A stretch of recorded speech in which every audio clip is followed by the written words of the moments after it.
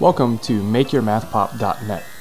The purpose of this site is to provide students, teachers, and parents supplemental math education materials. You can either use the navigation bar at the top or scroll down to the sides to see that there are math music videos, video lessons and information gap activities, lesson plans, and printable fact sheets. Also, there's a page to help you support MakeYourMathPop.net, or you can contact us using this form at the bottom.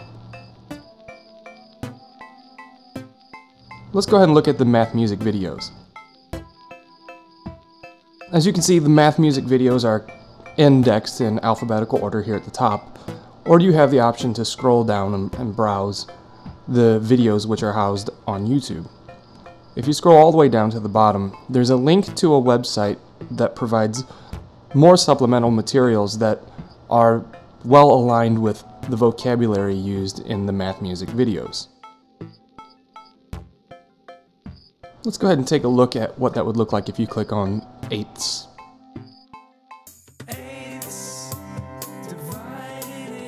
Moving on to math video lessons and information gap activities, once again, all video lessons are indexed in alphabetical order. This page also has information gap activities, which will be described in another video housed on this page. Information gap activities require two separate downloads, an A version and a B version, and is intended for partner work primarily, or small group. You can scroll down to the bottom and find more materials. Uh, these are games that go well if you're going to try to add another station in a guided math classroom, or just enjoy the games. Let's go ahead and take a real quick look at how one of the video lessons will populate. Here's a multiplication lesson, and this is just the introduction. Okay, let's head back to the main site. Following the video lessons page, there is a page for printable worksheets and lesson plans.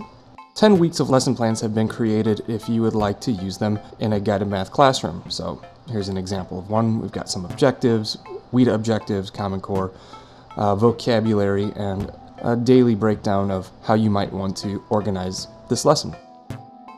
As you scroll down, there are addition, fact practice sheets, and subtraction, multiplication, and division.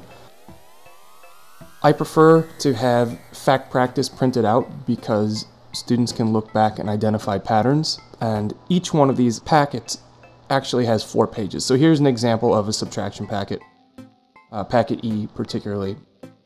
Skills are repeated, and subtraction problems that are typically more difficult for students are repeated more often. Back to our main page, and finally, as we scroll down, we can see some multiplication and division fact practice sheets. The final page of MakeYourMathPop.net is a page of suggestions of how you can support this website if you're so inclined. Some suggestions are to subscribe to Make Your Math Pop's YouTube page, talk about us on Facebook, or follow us, uh, mention us on Twitter. Once again, there's another contact form if you'd like to ask any questions or give feedback. And if you're feeling exceptionally kind, you can donate, which would be used to improve the equipment, and that would help improve the speed and increase the amount of updates we make to the website. Okay, and we're back to the main page, and thank you for taking the time to learn about MakeYourMathPop.net.